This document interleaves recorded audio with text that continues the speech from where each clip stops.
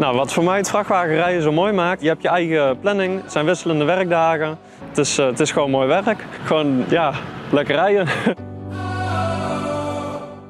nou, ik ben Rens Radstaken, uh, kom uit Doetinchem, 24 jaar. Ik werk nu een uh, jaar of 5, 6 bij Rabelink Logistics.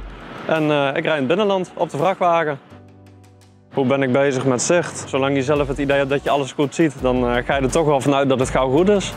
En op het moment dat ze dan bij de zaak komen en je komt terug aan de zaak en je kan deelnemen aan een oogmeting, dan is dat toch op zich wel belangrijk. Het is goed dat ze het doen. Je krijgt duidelijke uitleg. Als je vragen hebt, dan krijg je alles beantwoord. Ik zou het andere chauffeurs ook aanraden. Vooral met het feit omdat je dus uh, niet doorhebt dat het langzaamaan verminderen kan. Ze testen ook dingen die je zelf niet door kan hebben, zoals de oogdruk. Daar heb ik een hele uitleg over gehad. Dus uh, het is zeker aan te raden.